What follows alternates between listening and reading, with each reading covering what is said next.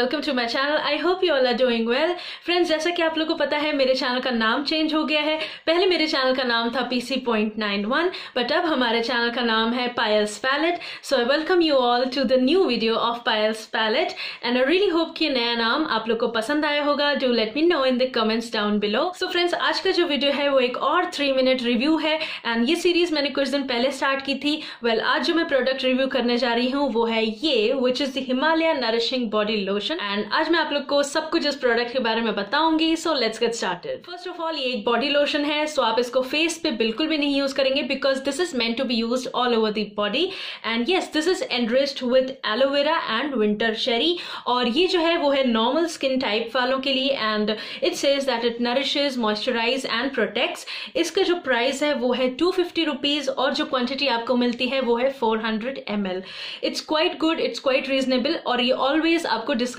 पे मिल जाएगा। मैं इसका डिस्काउंटेड प्राइस का लिंक डिस्क्रिप्शन पार्ट में दे दूँगी so you can buy this for yourself because this is absolutely a must have well जो मैंने फील किया वो ये कि बहुत ही अच्छे से आपके बॉडी को मॉइस्चराइज करता है नरिश करता है। इसका एक और भी वेरियंट आता है जो कि एक्सट्रीमली ड्राई स्किन के लिए है because that contains shea butter cocoa butter and other things उसका मैं यहाँ पे आपको इमेज दिखा रही हूँ। इसकी जो मेन इंग्रेडिएंट्स है वो है एलोवेरा और winter cherry like this is enrich with these two and first of all जो मैंने फील किया वो ये कि बहुत ही ज़्यादा इसकी जो फ्रेगरेंस है वो बहुत ही ज़्यादा अच्छी है, बहुत ही ज़्यादा सूदिंग एंड माइल्ड फ्रेगरेंस है।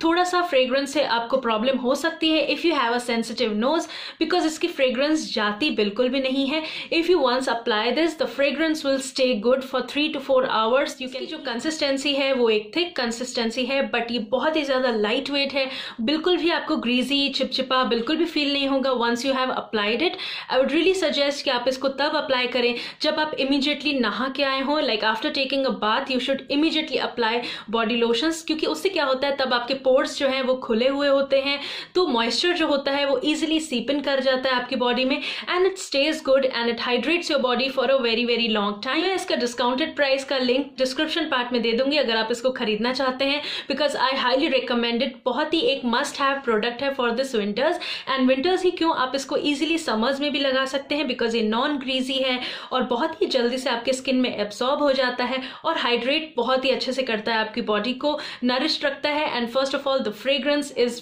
very very calming and very soothing. I really love this fragrance and i highly recommend it. And yes so this was it about this product. I'll be seeing you with another three minute review very soon. I'll be seeing you next time. Till then bye.